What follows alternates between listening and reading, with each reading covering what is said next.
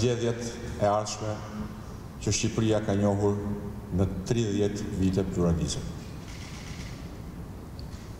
Tmerri dhe ankthi i Edi Ramës për humbjen e pushtetit në zgjedhje të lira e të ndershme ka kohë që manifestohet me gjuhën e tij, me veprimet e tij, por sot ka arritur një majë papërgjegjshmërie që nuk e ka patur as Ramiz Alia në ditët e tij të fundit. Me sa duket, një nga rekordet që Edi Rama do të thyejë është rekordi i kryeministrit në ikje më të tmerruar dhe të frikësuar për lënien e pushtetit. Në esencë, sot Edi Rama ka prishur marrëveshjen e pesë qershorit. Marrëveshje për të cilën u investuan Forcat politike me dakordësinë e katërmbëdhjetë janarit dhe me ndërmjetësimin e Shteteve të Bashkuara të Amerikës, Bashkimit Europian dhe Britanisë së Madhe.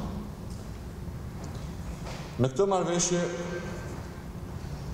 qendrore ishte miratimi me konsensus i reformës zgjedhore, që do të hapte rrugë procesit zgjedhor, Dhe po kështu do të plotësonte një kusht për hapjen e negociatave të Shqipërisë me Bashkimin Europian. Ne, si opozitë, në këto shtatë muaj kemi bërë gjithçka për arritjen e një marrëveshje për reformën zgjedhore konsensuale. Natyrisht kjo nuk ishte marrëveshja që ne dëshironim. por ishte minimumi i mundshëm në kushtet e panikut, frikës dhe motiveve që e shtynë Edi Ramën të diktonte në tavolinën e negociatave absurditete të tilla si depolitizimi i komisioneve me kusht që komisionet të përbëheshin nga administrata publike.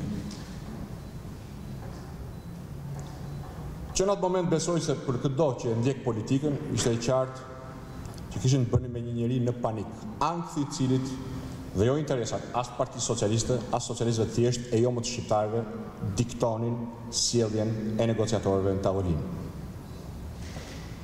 Në gënjeshtrat e shumta që ka këputur sot, kjo është një nga gënjeshtrat fanare.